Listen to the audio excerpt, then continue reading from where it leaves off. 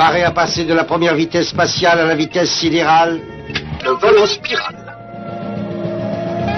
Ah Encore une fois. Il vaut peut-être mieux arrêter tout de suite. Le petit va avoir mal au cœur. Arrête Non, non, ça va très bien.